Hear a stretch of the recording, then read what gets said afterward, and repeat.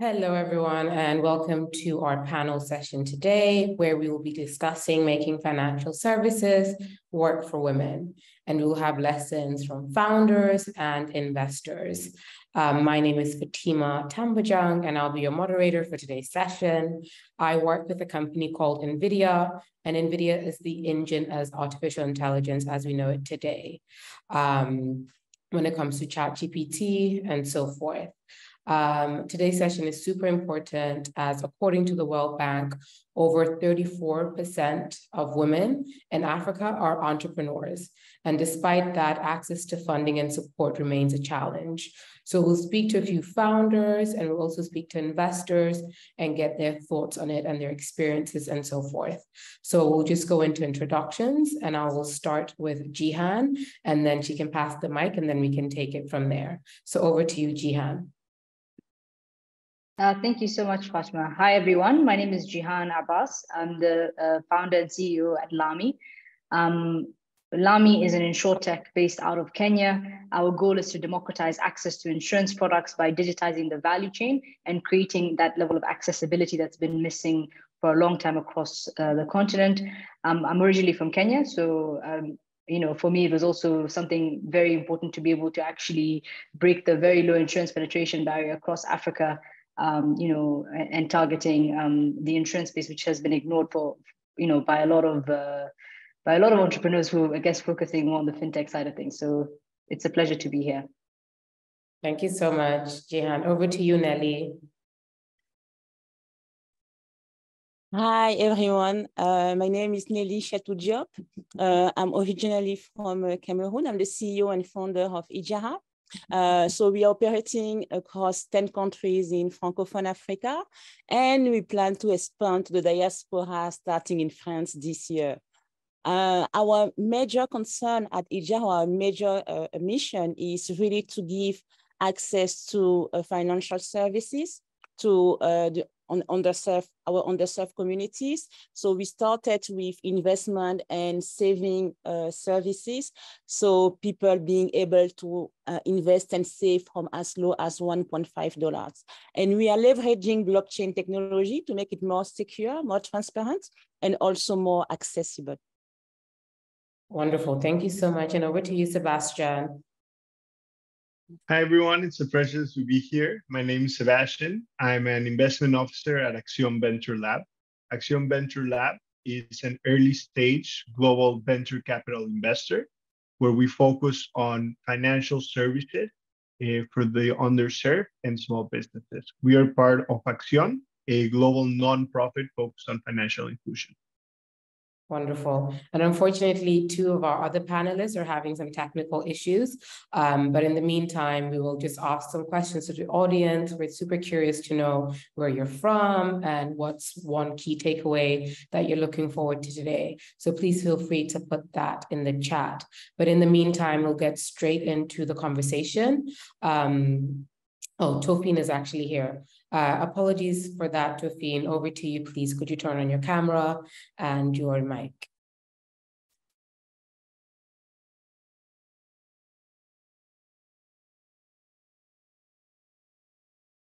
While Toffene uh, turns on his camera and his mic, we'll get into the questions.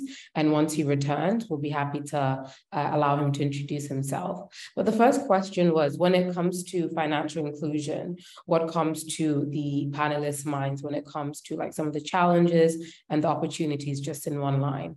Um, I'll start with Jihan, we'll continue with Nelly, and then we'll go over to Sebastian. So over to you, Jihan. Um, thanks. Um, I would say that you know financial inclusion is particularly from an insurance standpoint. I would say that you know we often ignore the financial security aspect of financial inclusion. Um, so I would say that you know it's being able to access all sorts of financial products, but also learning how to protect um, your assets, your your your finances, um, and putting yourself in that position of of, of power uh, with the knowledge that you might have within the space. So I would say that for me, um, especially coming from Africa, where people are very reliant on single sources of income, I think that uh, financial inclusion for me means uh, financial security as well. Awesome. Thank you so much. And how about yourself, Nelly? How do you look at uh, the question? What comes to your mind? So what comes to my mind is education first, uh, because uh, as Jihan mentioned, uh, in Africa, a lot of people still fall prey of scams. And I was even more astonished to learn that even like middle class income people that I would expect to be more financially educated were also lagging behind when it comes to what makes a sound investment. Is this platform safe or not? Uh, how can I diversify my portfolio? How can I save in a way that protects and grow my wealth. Uh, so education, education, education, see, that is kind of, for, for me, the main challenge when it comes to financial inclusion. And when it comes to opportunities, I mean, I feel like there is a blue ocean, to be honest. Like anywhere you look at, there is a, a, a way to disrupt the system.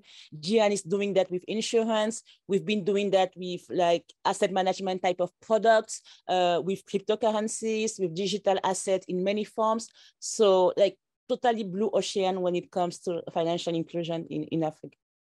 Wonderful. And Sebastian, as an investment officer uh, and as someone who you know invests into the early stage, what are some things that comes to your mind when you think of uh, financial inclusion? Yeah, certainly. I first of all, I echo what what Jihan and Nelly have said, but it, for me, it really comes down to access of financial services that are well designed and affordable for either the individuals or the small businesses that will that will utilize them. And I think we've seen what this means evolve over time, right? So at Accion, we've been working on this since the 60s, and you've seen kind of all these revolution of financial products um, that that have been, uh, you know, designed that are coming. You know, we saw the evolution of microfinance, and now what we what we really are excited about is how do you leverage technology to kind of take what exists now and, and bring it to the next level. So I will say it comes down to these two things but the way we're seeing going forward is leveraging technology to really un- unlock access to these financial services. Awesome. And welcome to the conversation, uh, Toffene. Would be great if you could introduce yourself and then also give us uh, some of your two cents on the question. And you're on mute in case, uh, yeah. So thanks, thanks. I apologize, I've uh, had some challenges connecting, but my name is Toffene Kama. Uh, I'm the principal uh, for Corps in West Africa, essentially uh, Francophone Africa, but also Nigeria, Ghana, and the rest of West Africa. Uh, Corps is um, a global investor. Uh, we invest mostly in the global south. Um, there's a significant portfolio here in Africa, more than 30 companies, and a few of them in Latin America. We have that very special connection between Latin America and, and Africa. I used to remind people that these are two regions which share the same type of uh, struggles and challenges. Sometimes when we see a business running in Latin America, uh, you can anticipate the same also um, operating in our region. We have much more proximity between what's happening between both than, for example, between Africa and Europe or between Africa and the US. Uh, we invest a lot in fintech. Um, we also invest, obviously, more recently in climate. So it's one of our main drivers in the future. And a core a principle of investment is about diversity. It's really, really a strong case, not just for doing good, but for the sound of the business. Like we have a significant track record with uh, diversity founders, female founders, and this is something that we are also growing uh, in, the, in this region uh, in the next coming months. Um, Thank you Now coming back, yeah, coming Sorry, back to the question of coming back for the question of financial inclusion. Just for reference, I had a career in payment and uh, fintech before moving to VCs. Uh, I mm-hmm. worked with very early days of M-Pesa. I think back then Safaricom has like had like 50 transactions per day or something. So it was really, really in the early days. And the puzzle was back then what would be the role of those services? Like, for example, would we invest more resources into providing water, uh, food security than financial services and mobile phones? And that question is pretty much answered. Um, financial services are really, really the fuel for all of those different things. You can't really grow ag without financial services. You can't grow education without financial services. So it's basically the hook between all those different things that we need in our region. And that's at least the lens we are looking at it. It's a, it's a fuel. If you don't have it, you probably won't scale the rest. Just as like goods have to circulate between countries, between communities, money has to do the same. If there is friction in the way money moves, nothing will mm -hmm. grow. And mm -hmm. nothing will grow. It means that what we are looking for in terms of development, in terms of community growth will not happen. So financial services, really, really inclusion is really an important piece. And this is also a core in our investment. Got it. Thank you so much. That is super, super helpful. And this is a question, and we'll start with Jihan again. As you guys know, um, there's an African saying that, you know, if you educate a woman, you educate a village. Um, and in Africa specifically, entrepreneurship isn't necessarily um, a choice, it's a necessity and is a means of life. And many of us are entrepreneurs without even realizing it.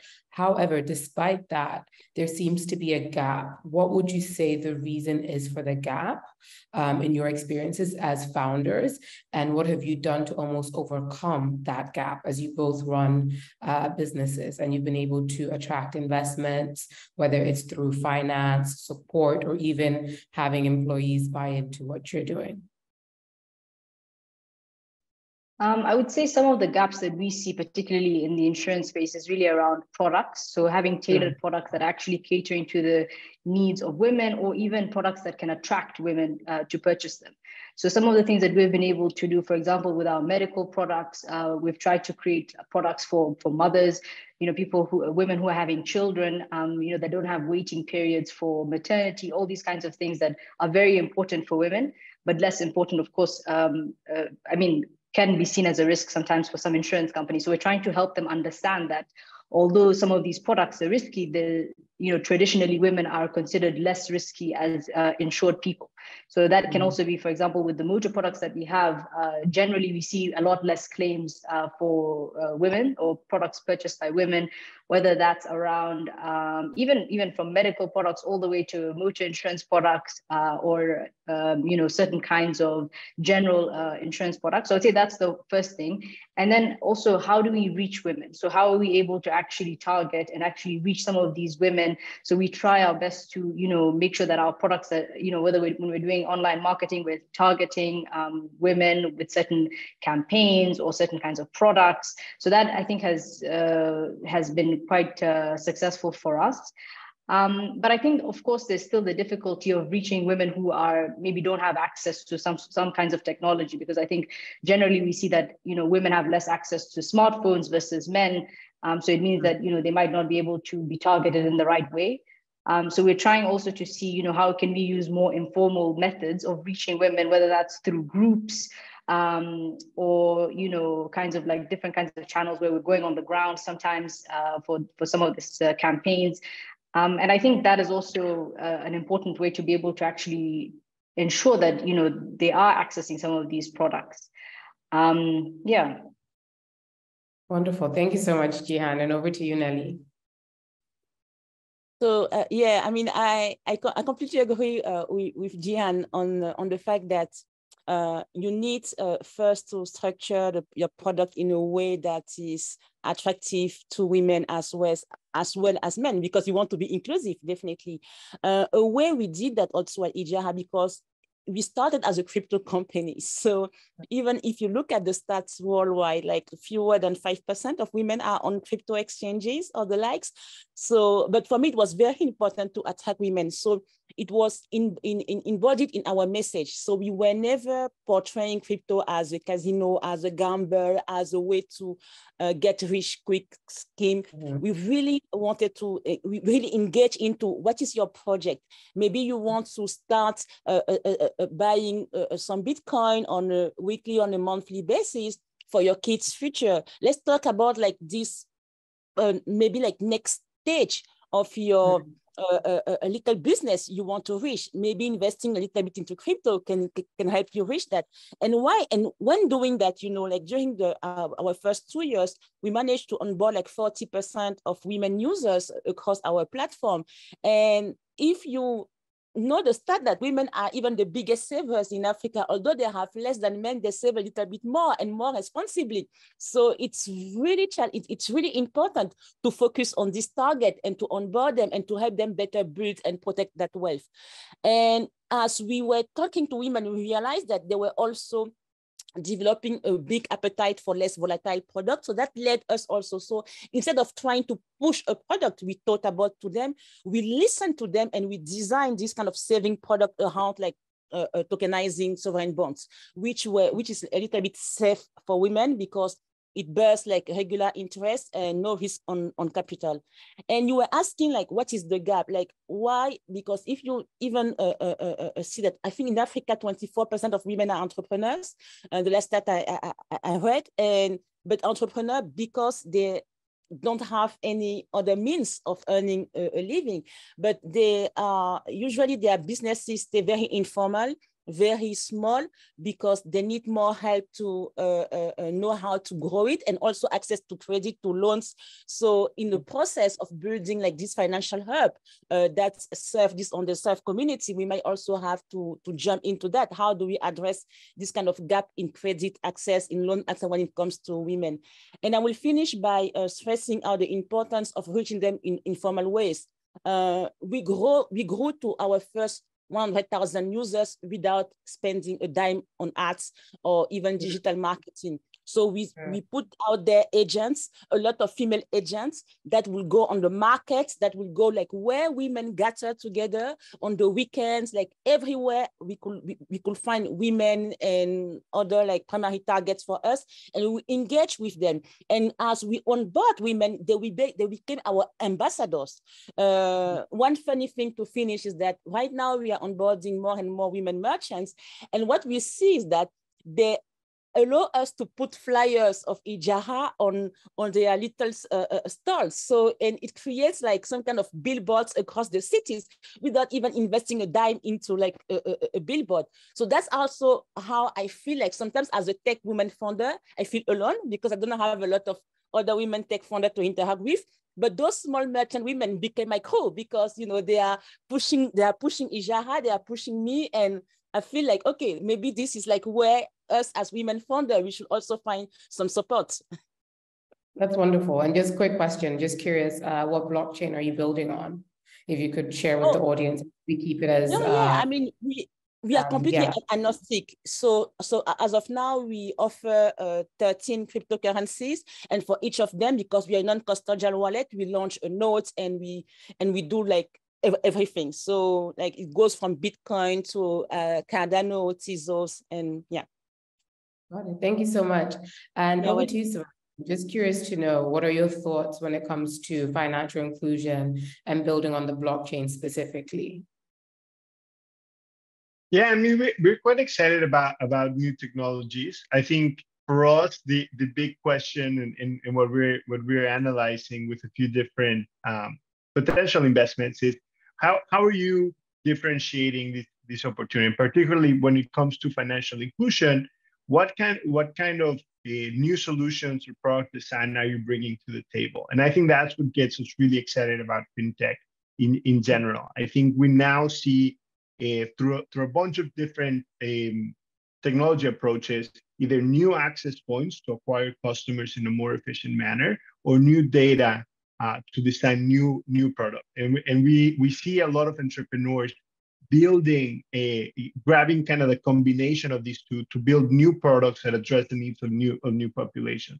And I and I will note that one of the things that we take, um, particularly when we think about a women's financial inclusion, we take particular note of how can we invest in more women founders because i think that the big question here is that in, in early stage companies so much of the product designs and the product choices are going to be design, uh, designed by this, this initial founding team.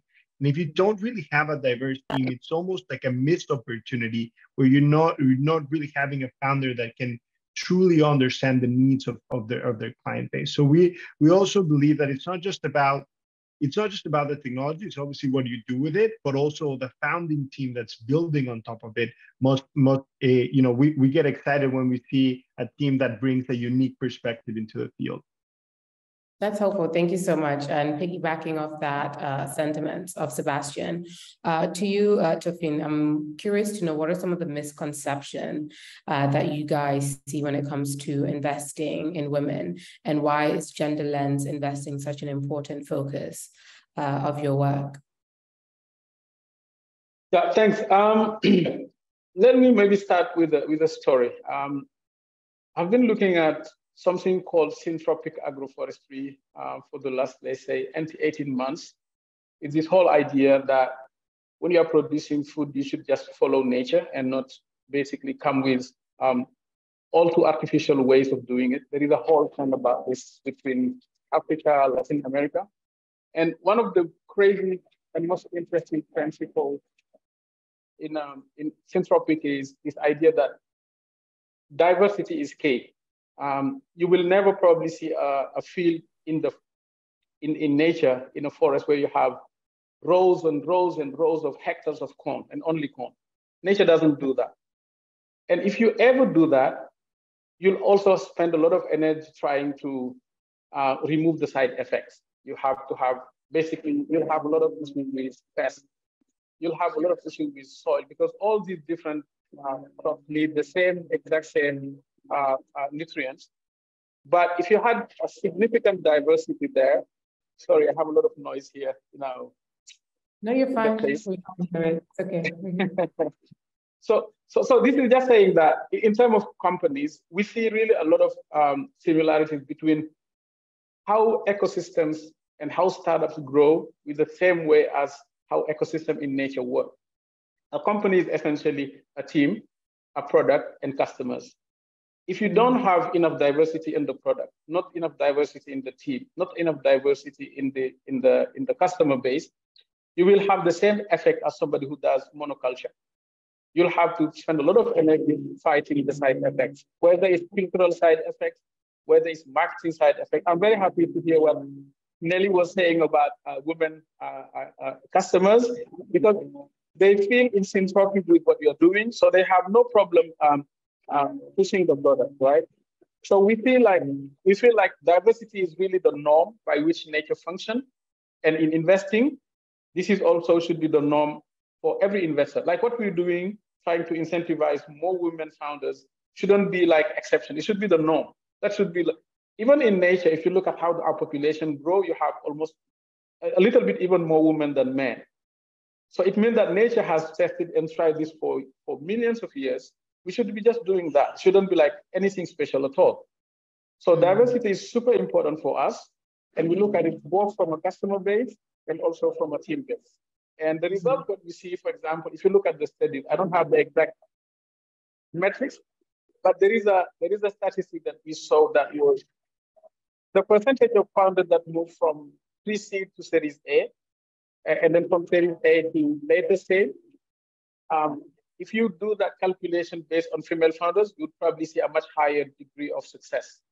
So it mm. means that actually there is nothing that incentivize should incentivize fund to focus more on male founders rather than female founders. It should be actually the reverse.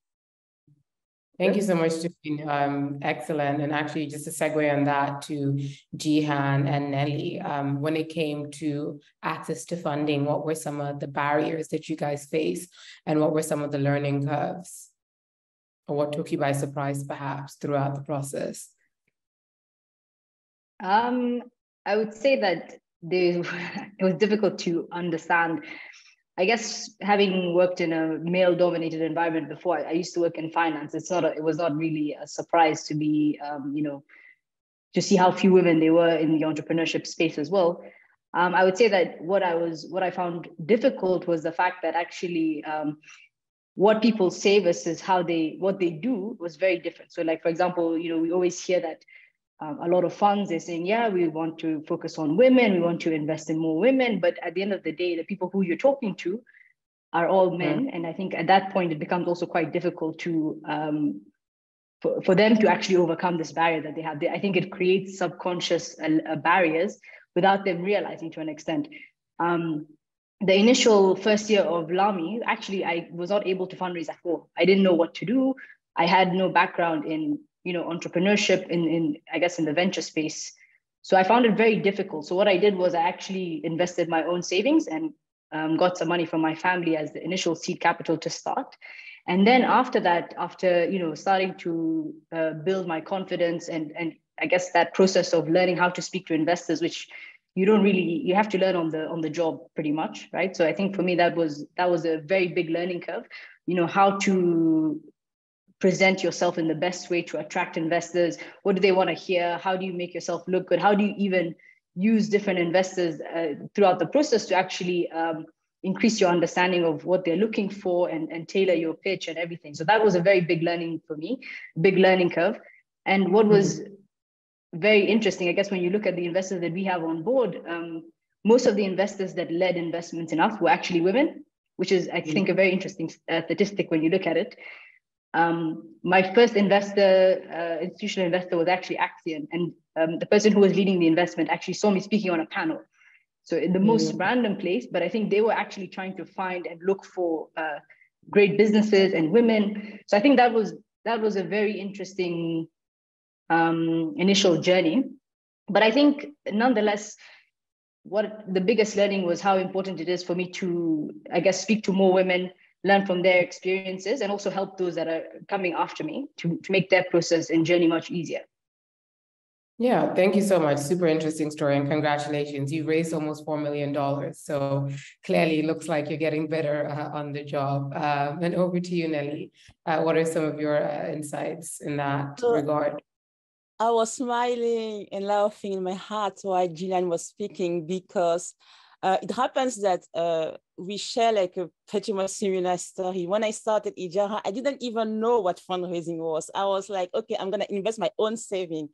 And I think like fundraising took me by surprise because uh, the it's a woman that led my my first investment, and we met on Twitter. we met on Twitter, and uh, and like one year later, she was she was leading uh, my investment, Melton Demiros from Conscious, and it happens that also for Ejara, most of the we most of the investors like are women and like you know or uh, uh, most of the big investment have been led by women. So it shows something. It shows that the diversity at the vc firm really means i mean makes a lot of difference for us women founders. But i also have to put like a, a, a tiny kind of um, i don't know like how to structure it in English, since like French is my first language, but my worst experience has also been with women. Because what I what I saw is that in the VC space, you have like those women that really don't want to be seen as maybe pushing women for the sake of pushing women. And they tend to be like a little bit tougher with us, uh, condescending, like it's the way I felt it. So it wasn't like normal rejection. It was like really condescending rejection. So it was very surprising for me as a women founder to face that. But of course, like it was more than compensated by the ones that were really like uh, uh, uh, really open-minded and really helpful to, to, to get me there. Uh, one other challenge we face as women founders is that when I was looking for like more advice, uh, how to move forward, uh, would be faced in my ecosystem with like a bro culture because most of the founders are male, they hang out together, uh, they mm. go take like, you know, uh, drinks at night. I can't, I, I, I have two little kids. I, I need to stay with my kids. So I don't do like drinks at night or everything. So it, it really made my life difficult not to have like this you know uh, uh, uh, this crew like those people that could help me also uh, uh, uh, move like a little bit faster. But ultimately you know i decided that i might be the one that create that ecosystem for like other women that come behind. So let's just do it Wonderful. Thank you so much uh, for your insights, Nelly. Super interesting. And to the investors on the call, how do you guys see yourself as allies, or how do you see yourself as creating an equitable environment so that women can, you know, access support, whether it's guidance or whether it's mentorship, as Nelly mentioned. If you are a mother, how do you balance that? As Jihan mentioned uh, before as well, breaking into a male-dominated industry can be um, relatively hard to navigate as there isn't a rule book on how to, you know, fundraise and so forth. So would love to hear uh, what are some of the conceptions that people typically have and what are uh, some of your advice and insights for anyone who's on the call who wants to go down a similar route as Jihan and Nelly? Yeah, certainly. I can start. I mean, I think at, at uh, Accion Venture Lab, we really, really thought about, you know, where can we truly add, add value here? And, and it goes beyond, I think, quite naturally, we, we invest in female founders, we look, we look for female founders, uh, but also I think it expanded beyond that. And, one of the things we did as part of our gender lens investing strategy was uh, see where, where our strengths lie and how can we help the, the biggest amount of founders, right? So what we realize is we have a very unique position. We are a global fund. We have very deep net networks that trust us, that uh, particularly other, other investors who have either co-invested with us or look at uh, our investment thesis as something that, you know, that is valuable to them as well. So what we decided to do is let's one, invest in female founders, but for those that we don't invest, because naturally we can't invest in, in all female founders out there, how can we make sure that, that we're putting them in a position where they're able to talk to the right people? So one of the things we're trying to do is can we champion early stage female founders that are maybe too early for us or not exactly a thesis fit, and can we connect them to resources uh, or, or, or networks to so that they can ultimately acquire capital. So we do a lot of work trying to figure out you know, when we go to an, a new ecosystem.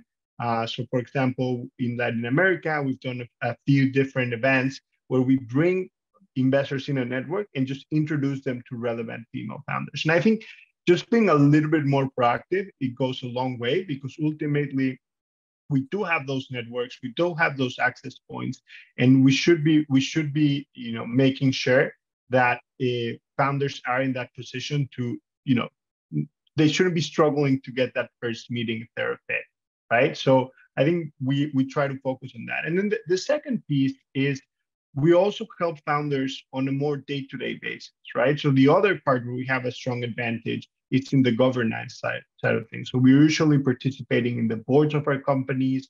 Uh, we're usually working very closely with the founders, male or female. So can we make sure that we we push for things like uh, adding female members to boards, adding female members to the middle uh, middle management tiers of companies. And I think that's where we try to do quite a bit of work, either just by suggesting it or finding the right profiles for for um, for portfolio companies. But I think it comes down to just being, you know, conscious that this is the problem, that there is an opportunity here, and it goes. Uh, not it's not just you know doing it because we we think it's a problem and and, and we just you know want to address it but also we realize it, it benefits your business And it's a missed opportunity if we're not doing it. So just when you realize that it just makes total sense to be proactive and, and try to incorporate it into everything you do with your with your founders. Absolutely. Thank you so much. Uh, super super insightful and over to you, uh, Toffene. I'm also curious to know when it comes to um, investing in women in Africa versus Asia versus Latin America, do you see anything uh, different? Well, definitely there is, there is, very honestly, there is a difference. Um, but the difference is also not surprising. Um, mm. I'll, I'll basically answer in two ways. The first way is going to be more like in principle, and the rest gonna be like more concrete to what we are doing. Um, I'm from Senegal. Nelly is from Cameroon. Both of us know uh, when football was like a new thing. I remember, probably I'm a bit old enough for that, but when Roger Milla and so were playing the World Cup, and here in Senegal, when the early days of Jules Francois Bocandé uh, were playing, all of a sudden we saw Africans moving from Africa sometimes from villages, being sent to Milan AC, being friends to some of the top European league. And they were not only playing, but they were even better uh, than many others. And it became mm-hmm. a phenomenon. Uh, 10 years later, you come back to many of these regions, you have um, a lot of kids that uh, feel like football is the way to go. And they have no mm-hmm. fear of doing it. And that's why we have a lot of like progress in the African football because they have role models, they have a playbook. Everyone knows. Like the exit plan for being a footballer is known if you have a bit of talent, wherever you are in Africa today, whether we are in a little village in Senegal or in Bamenda or in wherever in Cameroon, people know. It's the exact same thing as entrepreneurship. We don't have that much women entrepreneur in tech because mm-hmm. there is not enough uh, role model. So it's our role as, as, as funds to initiate mm-hmm. the process. coming back to always agroforestry, when you have a new ecosystem, the first thing you do is plant pioneer species. So sorry to say that this way, Nelly, but you guys are also are the pioneer species. And then everything else gonna depend on how successful you are, how open you are to help others, because they're gonna look at you as the way to go. If you make it, that uh, my daughter who is looking at doing entrepreneurship will not be afraid of getting in there because she can find role models. That is at least in theory. So we have a role as fund to incentivize those pioneer species. Sorry to say it that way. Uh, now, more concretely in Corps, we definitely incorporate this obviously first in our team. So maybe I should have been a female today being here, but we just wanted to make it almost random. I'm here. We also have women in the team here. Um, uh, but, but we also take in almost in our all our process, we have a score for being, for example, uh, women founders. We look at that, even when we are looking at the pipeline, we have that as a score. The second thing we are doing is that during the investment, we really don't make absolutely any difference. We actually even sometimes prefer female founders because just in terms of track record, it shows a significant slight difference between women and, and men. And, and the last thing we do as just like Accion is we have also a significant post-investment support team uh, that is also following up to help in governance, to help in recruiting uh, the right executive. And we insist, absolutely insist in the executive team, either in the founding team or in the next uh, uh following management to have significant diversity and women. And we are not doing this just because we want to be good or seen as good. We are saying it, doing it just because it's really, really efficient. If the team is diversified, somebody will, will, will stand up and say to the founder that this is not the way to go. And that's really, really critical, especially here in Africa, where you have so many other issues of governance. If somebody is able to come and see, this is the market looks like, I'm close to this category of customers, and this is what we should do and can stand to the founder and say, this is the way to go, we have significant process on um, uh, like basically opportunities to for the company to, to be successful. If it is just one way of thinking, it generally leads to a lot of side effects that we all know about. Mm. Makes sense. Thank you so much. That's super, super comprehensive and insightful. Um, and just kind of pivoting a little bit into questions regarding products specifically. Uh, so this is to Jihan and to Nelly. When it comes to products, what are some futures or what are some requests that you hear from women in terms of what they would like to experience? Or what are some gaps that you have perhaps realized that, okay, this could be something interesting uh, to implement for our women audience?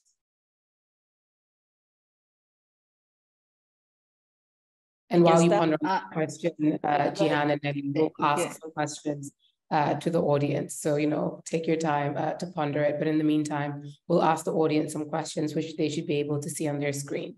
But over to you, Jihan.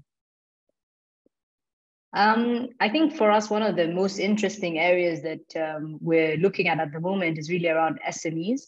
So SMEs have always been a, a target for us. Um, of course, here in, in Kenya, you see that a lot of small businesses are actually owned by women. So we're really trying to see like what kind of uh, products we can create for this uh, segment. We've tried uh, to create new products and standardize existing products as well, so that we can actually create new flows um, for purchasing of, of some of these SME products.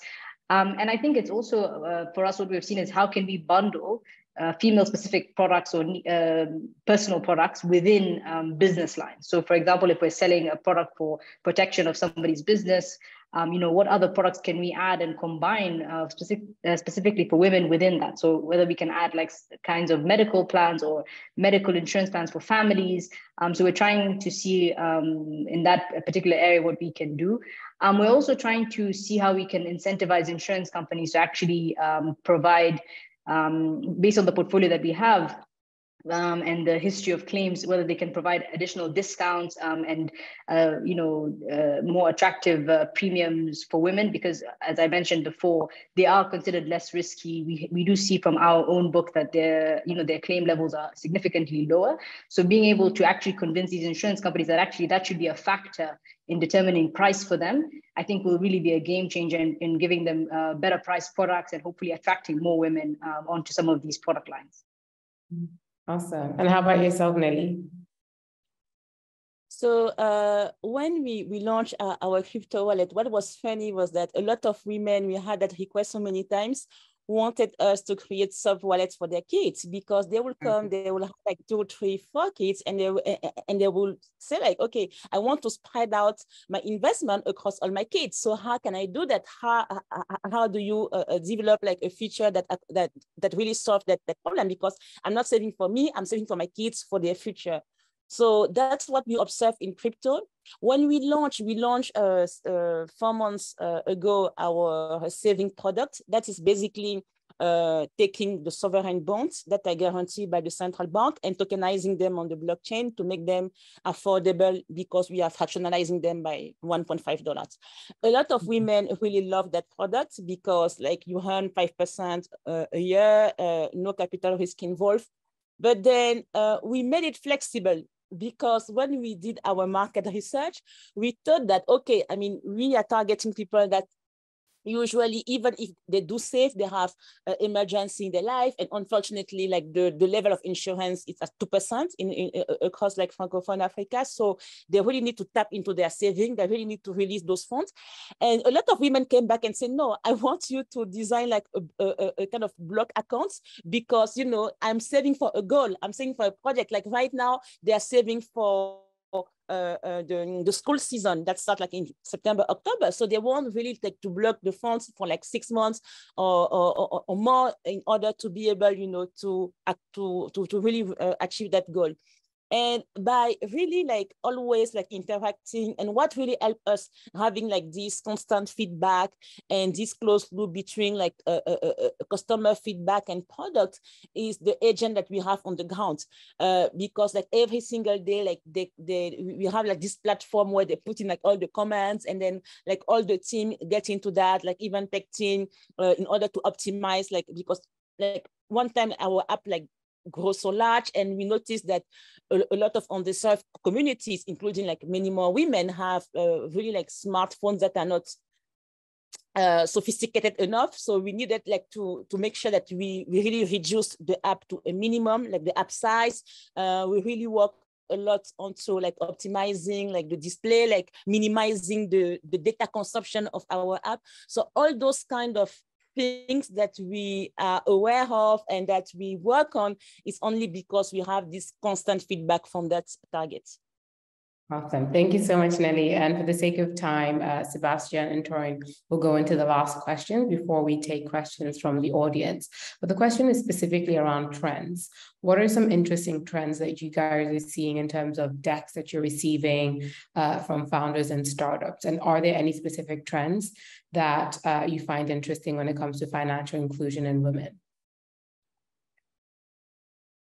Certainly, I, I can start. I mean, one of the things we're extremely excited about it uh, at Accion Venture Lab is embedded finance. And when we talk about embedded finance, it's really the inclusion of financial services uh, through channels that have traditionally been non-financial. So maybe think of like a small restaurant selling through an online platform, and suddenly you can access things like credit directly through the platform. We actually even have a company in our portfolio, Dini, that's doing exactly this in Brazil. And what's interesting about them uh, especially from a point of view of financial inclusion, is that you can leverage not only the access that you get through these platforms, it's not just getting your credit very easily through a click of a button, but also new data sets that allow you to design products that are better tailored for this use case or that include populations that otherwise wouldn't be able to access financial services through maybe like traditional credit analysis. And what we've seen is in industries where um, there's a large concentration of, of uh, women entrepreneurs, it can be truly transformational. So, for example, we have two cases, one in Latin America uh, through Tienda Pago and one in Southeast Asia with FairBanc that work with Cornershop and they use the data that they get through their apps uh, around the um, inventory turnover to finance loans. And what we found is that these, these uh, corner shops are mostly owned and operated by women. In fact, for Kinpao, it's 58% of their customers are women. For FairBanc, it's 70%. So we really see kind of this new trend unlocking access to financial services in, in verticals where there's a large concentration of, women founders. Uh, the other thing I, I, would like to highlight here, though, is, there is a lot of opportunity, of course, with these type of solutions. But we also like working with teams that understand uh, the risks and the biases that are behind this. And we want to make sure that as we implement this new technology, we don't almost like compound the negative effects or the barriers that have kept a female users out a, a you know disproportionately outside of, of, of, financial services. So we really do a lot of work in sharing information for example on new ai models. We see a lot of potential there but there's also tons of potential harmful biases within them so we try to work with these founders to see the opportunity seize it and, and create new things but also um, make sure that, that we're doing so in a responsible way, in a way that, that can really maximize the positive impact. Interesting. Thank you so much, especially uh, embedded finance and AI, is super interesting. Uh, Toffene, mm-hmm. how do you uh, see that question? What are some thoughts that come to you? Yeah, we, we see exactly the same trend in terms of embedded finance. Um, I think 10, uh, 15, 20 years ago, um, well, financiers was more like access to accounts, uh, which is mm-hmm. what mobile money has allowed to do uh, for probably way, way too long. Um, mm-hmm. seven, seven, eight years ago, we started to see a little bit more than just money transfer and, and uh, store of funds, but we started to see lending. Um, more recently, we are seeing people going beyond lending and adding, we are seeing, for example, a lot of interesting insurance uh, cases very, very mm. smart cases of getting uh, insurance to democratize. Uh, we are seeing also more and more in like investment cases, just like the case of, of Nelly. Um, I think that there is really one thing I could, there is probably one way to look at all this, which is in Africa in general, and this is valid for investment, but also valid for, for startups, sometimes the, dis the distinction we do between different form of payments or different form of financial services doesn't exist. Like we like to think of uh, saving, uh, insurance, uh, lending, but the most common, let's say, financial service in Africa, for example, is those tontines and susu and so on. Every time you explain this to somebody, they're gonna say, oh, this is like part saving and part credit. But an African doesn't see it that way. You are part in a group, and there is a continuum of service between saving and lending, depending on just what you need. So we are seeing more of that, that people are basically combining saving, payment, insurance, lending in a continuum of service uh, for the service of a particular product. And sometimes we call it embedded insurance or embedded um, uh, finance. But in reality, it's just that you're extending the normal service to add finance to it regardless of what is the um, primitive that you're using. And I, I, really like that idea of continuum of service. Uh, and we like when we see a fintech company that just doesn't do just lending, that is also providing saving, that is providing a continuum of service because it's the only way to serve customers. So uh, we are seeing mostly the same, the, the, the same trend, I think, uh, in the sector. That's super helpful. And just uh, a protocol to the participants on the call, I just wanted to remind you that if you want to use the word cloud, you have to go onto the platform itself. And on the right side of your screen, you should be able to access the questions there. And then you can just answer uh, the questions on that. If that's not clear, please feel free to share it in the chat. It will just help you uh, with it. So to repeat again, please go on your right side of the screen. And then once you go on the right side of your screen, there should be a tab and on that tab itself, you can manually uh, populate it and you can insert your questions there uh, or your answers and so forth. Um, and we have about 12 minutes left of the discussion before we open up the Q&A. So in the meantime, feel free to populate the Q&A for our uh, panelists so that they can answer it. Uh, but while we still have some time, Jihan and Nelly, this is a question to both of you. I guess what is a win that you guys have had recently with your businesses and what are some of the key blockers that you guys face? Um, there might be someone in the audience uh, that could essentially, you know, help or, you know, collaborate with you guys and so forth. So yeah, um, I'll go with you, Nelly, this time, and then we'll take it over to Jihan. Well, this, this is this is a tough one. Uh, so let me start by by a block uh, instead of uh, instead of a wonder. Uh, I will list two. Um, one of the things like you know, uh, uh, Ejara, we've been uh, we've been growing really like despite all odds, um, uh, like 15% month for month approximately. But one of the major blockers since day one has been uh, kind of accessing FX because we operate in Francophone Africa with uh, XAF and XOF, the CFA franc peg to euros. And to be able to balance corridors, because when you operate in crypto, you are essentially buying your inventory in dollars or euros.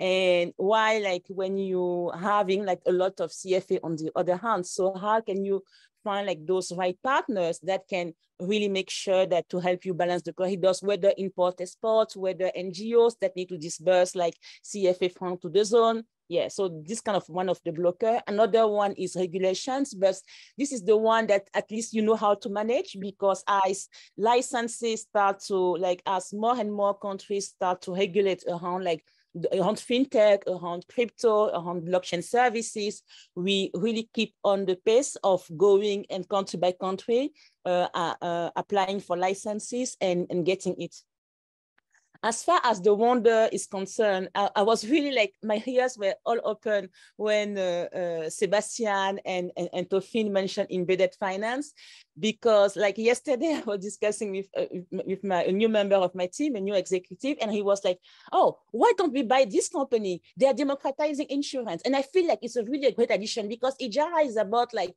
financial inclusion, so, so uh, uh, uh society inclusion. I'm like, I've never thought about it, but that's, you know, why not? And, you know, and, and suddenly uh, uh, uh, the way I was seeing my company, because usually I present it as an investment and saving company. And today is the first time I present it. Oh, this is like a financial services like up where we want to be like one-stop shop for everything. And now Toffene gave me the right justification. We are just replicating the tontines. We are just replicating the community. So good for it. Toffene, I'm going to come see you for my soon. Sebastian well. So I, I I hope you put action when your words when when your words are. So yeah, I think that. we, we've been all the way we've been with you all, all, all along so no problem i know i know i know you've been like wonderful wonderful investors yeah uh, we love you at ija excellent. excellent. Thank you so much, uh, Nelly. And yes, we're all on the call, so we'll hold Toffene accountable to it. Um, and over to you, Jiha. Uh, I would say for us, one of the difficult parts is uh, that, I mean, issues that always creep up is around insurance products. So we rely on insurance companies to provide us with the products. We don't we don't underwrite or carry any risk ourselves. So sometimes, in some instances, it's quite difficult to get the right product, or even in some cases when we're testing a product, um, you know, insurance companies might change their mind about whether they want to be selling such a product. So we do have some difficulty around that that can be erratic in some cases, but for the most part, we try to have multiple uh, providers for the same product so that we're able to balance. Um, another problem generally that we're seeing, I think similar to everywhere in the world, is really around inflation. And the problem with inflation in insurance is the fact that the asset value of any asset that you're insuring is changing right? Essentially, in the sense that you know the, the monetary value assigned to it is, is going to be different based on the inflation level. So we had to really uh, take a bit of time to think around that problem. How do we uh, make sure that if a, if a claim does come for some of our customers, that they're actually getting the real value of their assets? So we've been working a lot recently with the insurance companies to see how we can like revalue a lot of um, the different assets that some of our customers have. Um, in terms of wins that we've had recently, I think the one of the biggest wins for us recently is uh, around launching our SME flow. So that was something that we were working on for a while. Uh, it's currently being tested and soon we're going to have it live. So I'm really excited about that because we're able to actually standardize a lot of our offering um, and target SMEs more broadly. Um, yeah, but I think there's most with most startups, I would say there's uh, a lot of curveballs all the time. So it's probably more heavy on that side. No worries. I mean, it's important to celebrate your wins, and I think women don't tend to do that. So I wanted to make sure that we made space for that. Um, and then over to our investors, just super curious to know uh, what are some things that make you, you know, bet on a company, and what are other things that make you say no often to startups? I would assume that most people on the call, you know, are either looking for access to funding and access to support. Um, what are ways uh, that they can access mentorship or additional resources or anything that you could point them in the direction on this call would be super helpful, whether that is uh, from Jihan and Nelly later on. If you could also chime into that, that'd be helpful. I think Jihan spoke a lot about pulling those up behind you. Um, so yeah, I just wanted to make sure that we covered that as well.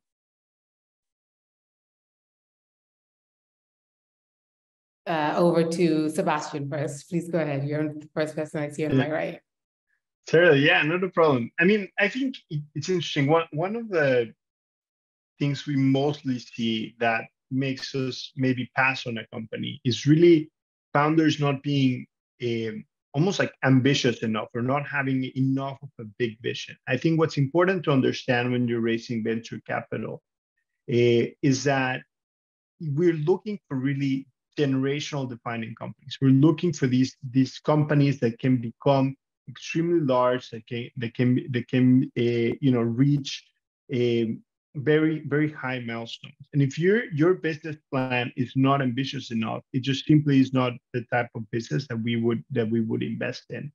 And i will say a, a lot of times uh, the the ambition is there or the uh, or the vision for something truly transformational is there. And, and wh- where it falters is on not communicating that effectively or almost being uh, shy and thinking, hey, I have this idea that's truly going to change my market.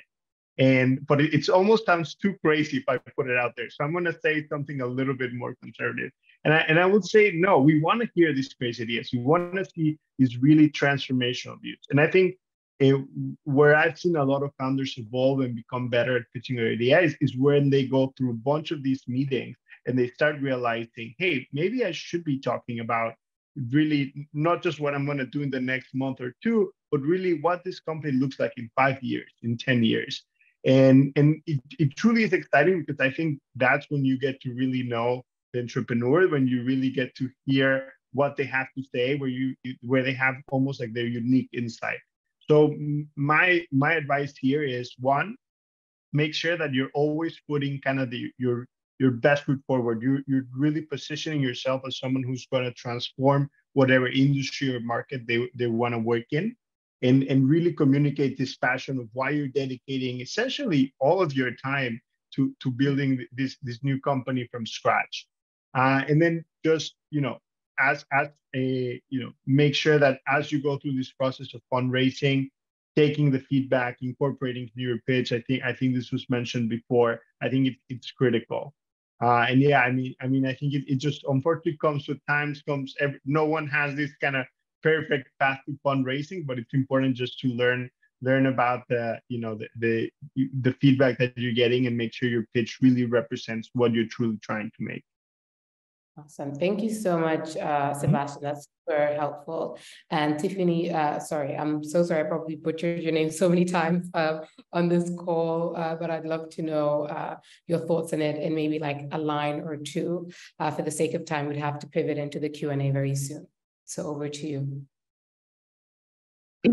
Yeah, I, I think that I have really different recommendations depending on where you are starting your company from.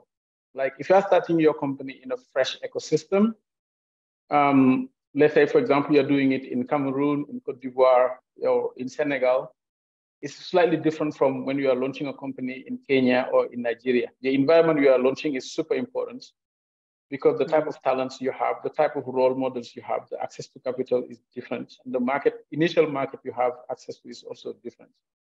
Um, now, based on what you're looking for, um, it's important also to see, to understand what investors are looking for. Like obviously, as he was saying, no one is looking for the next SME that's just gonna be like doing business as usual.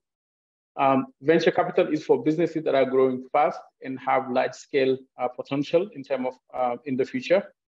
So I really recommend people to focus more on the business.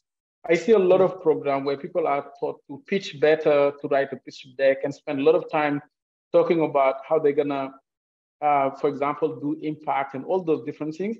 At the end of the day, I'd rather have a, a, a good company that has a bad pitch, that doesn't really explain things well, but where the business has a lot of sense and what they're doing, they understand precisely where they are putting their funds. And they understand what the business could become tomorrow. You can correct those.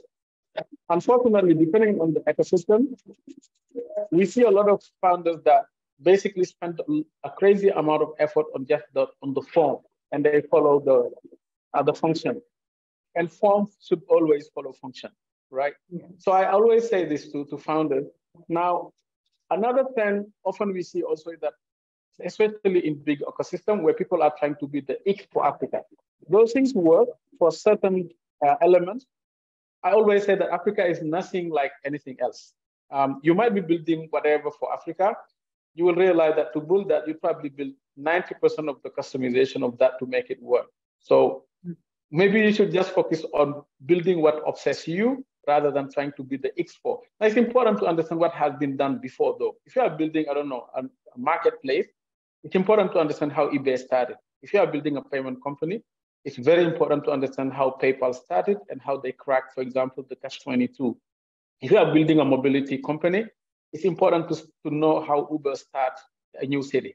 Those are important, but you don't have to copy them, right? if you copy them, you still have to do 90% of extra work, which means that you probably should have started just from scratch. So understanding where you are putting your hands on, understanding what other models exist and what make them work is important, but you'll always have to do things in a unique way in this region to, to succeed, uh, in, a, in a nutshell. So we are looking for something special always in a startup. And despite the overall 90% of the pitch, you'll probably, something 10% of the thing will basically tick and you want to dig deep on that. It's super important when you are explaining to be broad enough so we can catch that very little thing that we will focus on and that will make or break the investment. Awesome. Thank you so much. Super, super insightful. And we'll now uh, go into the Q&A. So we'll spend the next 10 to 15 minutes just answering some questions from the audience. And the first question I will target it towards Jihan and Nelly is around whether you guys have seen any financial products that are targeted towards procuring menstrual products. So when it comes to, let's say, menstrual cups, they can be typically expensive to purchase outright. Are there any products that almost allow you to do the uh, buy now, pay later model? Or if you haven't seen it within menstrual cups specifically, have you seen in any other industries uh, that is focused on products that women would need?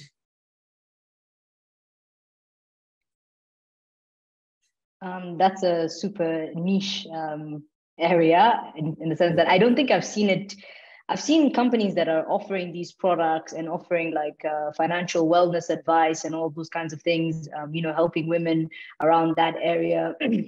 whether it's around pregnancy or it's around um, just you know your general health but i haven't really seen financing for menstrual products but i think that that's actually super super interesting and i think a, a really a really cool area. I see a lot of NGOs in the space. So a lot of NGOs providing uh, assistance and, and helping women um, uh, around that space. Um, but I haven't really seen uh, financing for it.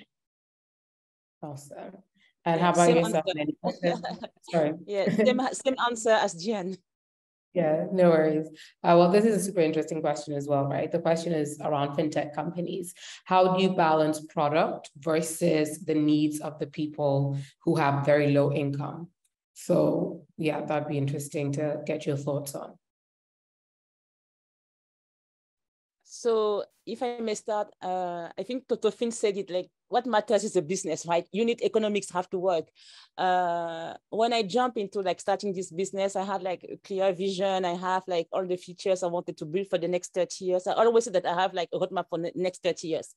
Uh, obviously, you know, I had to make a lot of compromises uh, because sometimes like you might be in love with your product, with the feature, unit economics do, do not work. Uh, maybe it's because like the customer base is not educated well enough to value that product at that moment. Maybe it's a question of timing. Maybe it's a question of area you are targeting. So a way I solve that is expanding to now I'm starting expanding to other markets where I could try stuff that matters to me and uh, and that I really want to do and that seemed to find a product market fit with the customer base I'm addressing. But you really mm-hmm. have to make sure that uh, unit economics works because you might have a wonderful product, but if nobody uses it, if it doesn't make if it doesn't make the company like sounds, it doesn't make sense to start it, to launch it. Yeah, no, thank you so much. That's super interesting. And to our uh, investors on the call, what role do NGOs and INGOs play uh, when it comes to financial input slash access to credit when it comes to fintech specifically?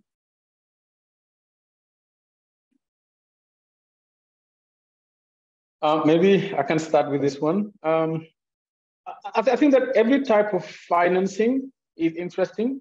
The important is just for the founder to know where and how to leverage it and not rely on a single source of the time.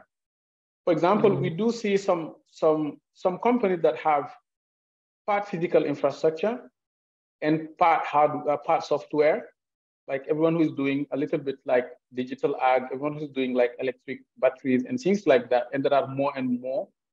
Um, the typical um, puzzle they have to deal with is that um, the physical hardware is essentially is funded by, by, by, by lending, by some form of lending. But at an early stage, they don't have enough proof of proof that the business is sound, so they can't access, they can't go to a bank and, and, and get a loan. And we've seen a lot of cases where NGO um, and other sort of uh, free money and grants have been super helpful for um, very good founders to leverage that, whether it's 100K or 200K, to build a proof on the infrastructure side and still raise normal equity for the software. Uh, we've seen that really, really as super helpful.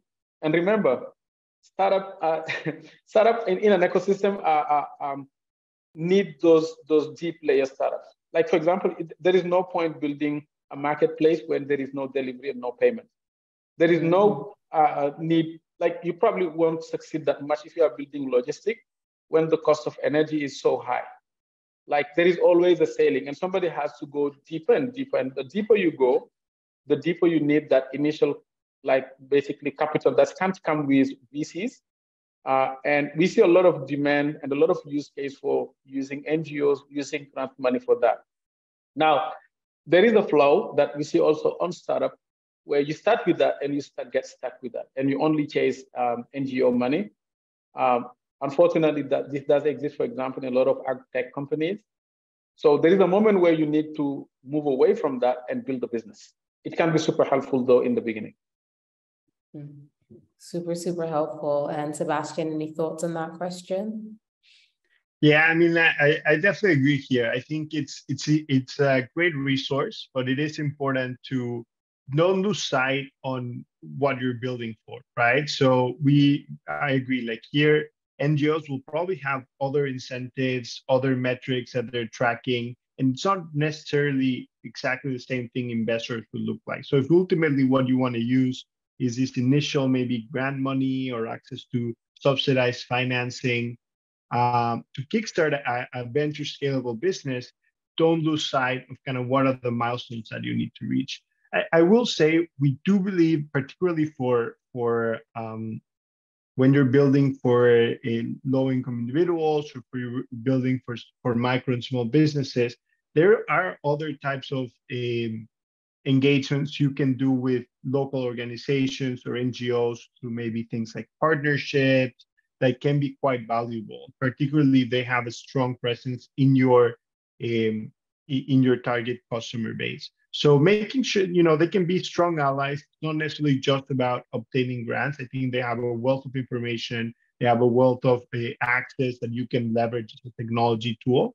Uh, but don't never losing sight, obviously, of, of these more scalable path. I think what, what we quickly find is if you, a lot of times startups tend to grow really fast and their partners can't always adapt to this, or they might, you know, grow much more to the extent that maybe, you know, they need to move to another country, they need to move to another region, uh, and and their partners are not uh, are not really positioned to handle that. So how do you make sure that you can take the good but also you know protect yourself from any downside or any ceiling that the partnerships or the access to financing you're taking might impose in, in your startup yeah. And this is uh, one of the last questions and the question specifically is around what's the intersection between women financial inclusion and uh, climate change in terms of how women can respond to it? Um, if anyone has uh, an answer to it, I think just a one liner would be great, um, as we'd have to wrap up the call in the next five minutes.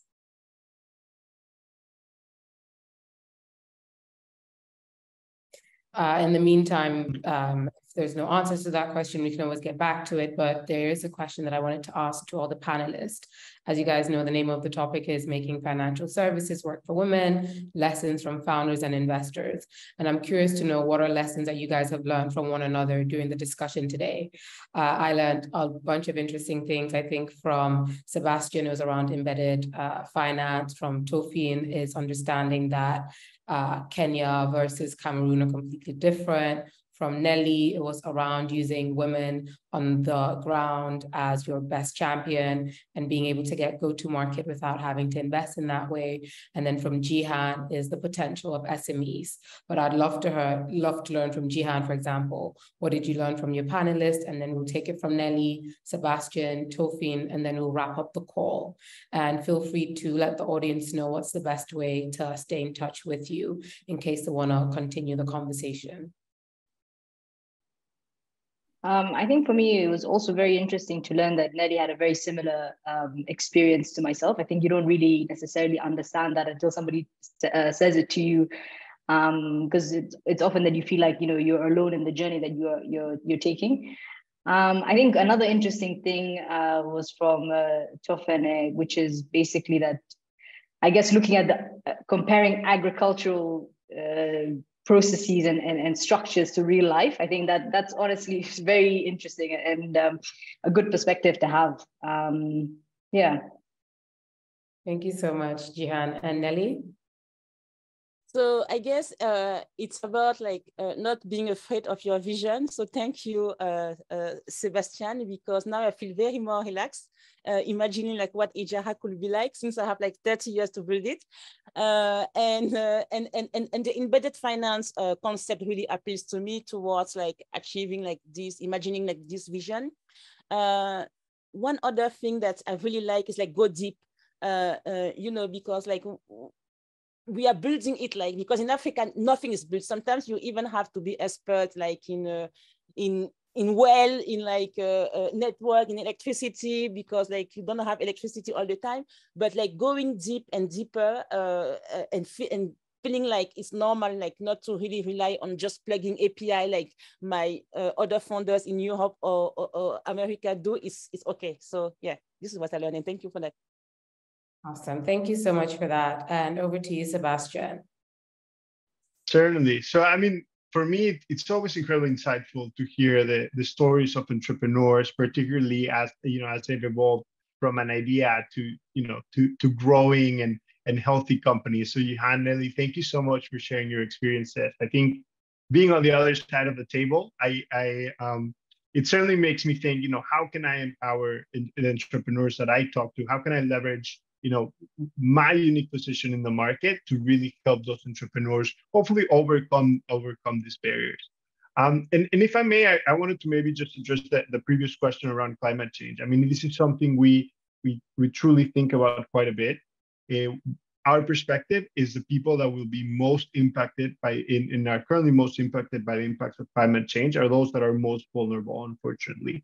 So from our unique perspective, focused on financial services, we really think there's a lot of opportunity around resilience and adaptation. So we think financial services are going to play an, an incredibly important role in helping individuals who are impacted by climate change make sure uh, that minima adapt either to a new reality or make sure that they're not they you know they can be reduce their vulnerability. So we we've done a lot of work here um, in agriculture, for example, where we've seen farmers be impacted, but we want to make sure that we extend this to other other areas uh, where we also see climate uh, climate change being an important negative impact. Thank you so much. And we know we're running up in time. So Toffene, just one line would be great. And then we'll wrap up the call. But uh, there's an active conversation on Twitter. The hashtag is W2023. So feel free to continue the conversation um, offline as well. But over to you. Uh, one last sentence, and then we'll wrap it up. Yeah, yeah I just wanted to thank yeah, our both founders, Nelly, which we, uh, as I said, we, we we know a little bit, but it's also so different to hear from her. We we're actually from the same region, but we are not that much in contact, to be honest. So I'm very, very happy to rediscover her life And uh, also to Jihan. Super interesting to see what you are facing on the ground. But I just want to re-emphasize that your success also will generate 10 others, uh, each of you. So it's super important that we all in the whole environment to, to be supportive so you, you make it. And yeah, obviously Accion is, uh, you know, one of those uh, pioneers in investing, impact investing. So we are learning a lot from you guys and probably learn almost everything from you. So happy to be uh, to be also uh, listening to, to, to also be to see that we are we have the same we are seeing the same trend in the market. Maybe just one last word about climate just like atmosphere is for everyone. I'm sorry, we're gonna have to skip the point on climate um, because time is up. No, no problem, no problem. No so problem. much uh, for uh, today. Thank you for Women Delivery. Thank you for Accion for putting this together. And like I said, the conversation can still continue on Twitter. Take care and enjoy the rest of the conference. Bye, everyone. Thank you.